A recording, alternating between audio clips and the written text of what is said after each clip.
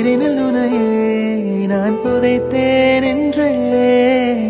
புரிந்திடும் முன்னே உனை பிரிந்தேன் அன்பே. தினமும் கனவில் உனை தொலைவில் காண்கிறேன். அதனால் இரவை நான் நீள கேட்கிறேன். எழுத்து பிழையால் என் கவிதையானதே